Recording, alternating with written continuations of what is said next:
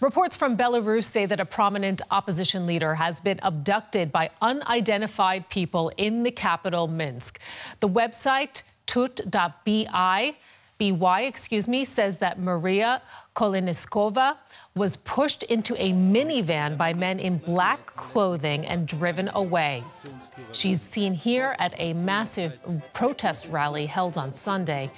More than 600 people were arrested in the demonstration.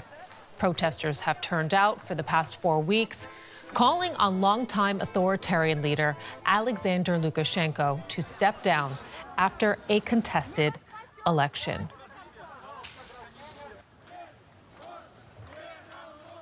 And DW correspondent Nick Connolly joins us now from Minsk. Uh, Nick, tell us witnesses say that Maria Kolesnikova was bundled into a van.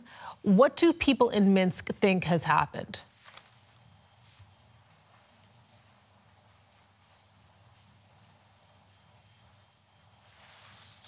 Not using official police in uniforms with um, some kind of identification to do these kind of things. We saw it happen yesterday at the protest where people were being arrested by police in plain clothes, carrying batons, some with flak jackets, but without any kind of ID on them. Um, in terms of Maria Kolesnikova, yes, she was out in the city walking, apparently going to a post office to get some documentation for a legal case that she has running against her when she suddenly disappeared. An eyewitness saw a van, an unmarked van without any number plates, which just said uh, telecoms on it and men without uniform bundling her into that bus. No one has been able to reach her for the last few hours.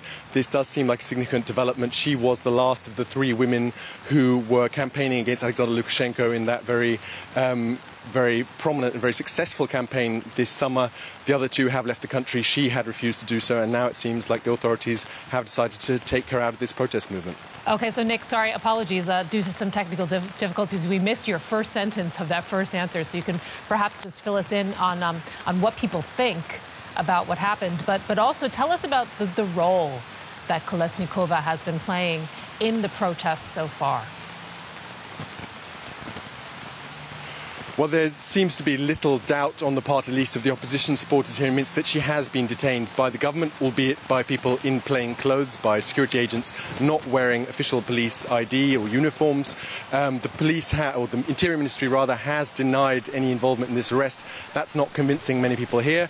Maria Kolesnikova was or is someone who is one of the prominent faces of these protests, someone who was part of the trio of women campaigning against Alexander Lukashenko along with Svetlana Tikhanovskaya and Veronika Tsepkalo both of those now abroad. She had refused to leave the country and is now facing the consequences of that. She has also recently been involved in setting up a party. I think that's a bit early now. For now, this, this protest against Alexander Lukashenko's regime is taking place on the streets and not through traditional politics, but she is certainly one of the faces of these protests, and her arrest will be a significant blow to the opposition.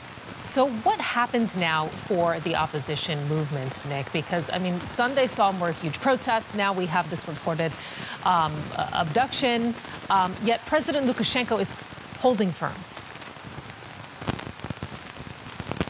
Well, he's definitely refusing any kind of dialogue. He seems to think that any kind of negotiations would be a sign of weakness. He has referred to protesters as rats. His government has defamed them as prostitutes and drug addicts. So, really hard line here and no seeming willingness to kind of engage with these people.